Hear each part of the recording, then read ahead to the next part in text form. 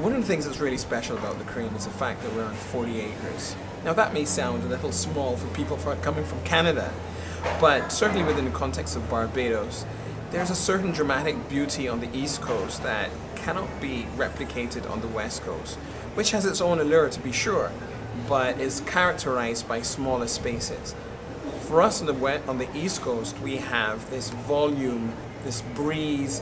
this feeling of paradise where one can find a private enclave to enjoy.